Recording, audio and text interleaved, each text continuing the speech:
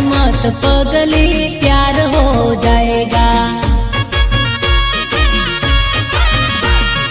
मेरे संग तुझको इकरार हो जाएगा। हंस मत पगली प्यार